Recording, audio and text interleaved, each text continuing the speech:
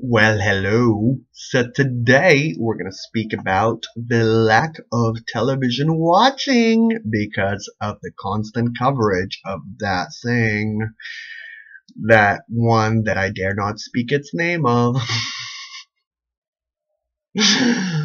because it's just, oh, you see it everywhere. you know what I'm talking about. I cannot watch the news. I cannot watch television.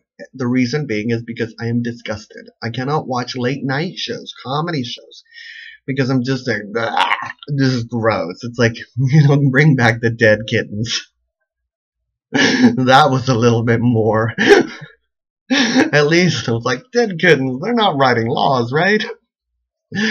um, so I can't watch television. I really can't. I think the poor tel- television, you raised me. You're my parents. You're my parent. I was abandoned by my parent because my parent became addicted to a thing. Um, so, um, are you with me? Are you the kind of person that just cannot watch television after the presidency? It's just entertainment is just, uh, horrid, horrid.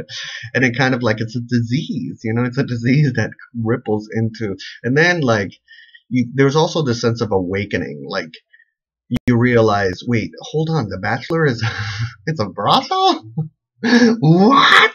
They're airing a brothel on national television? What? Yeah. So, do you agree? Do you disagree? Do you think, do you believe that television has just become horrid? Are you like, where's NHK? Where's NHK? You're the only one I can trust. Let me know in the comment section down below. I love you all. I want to wish you a wonderful, wonderful, wonderful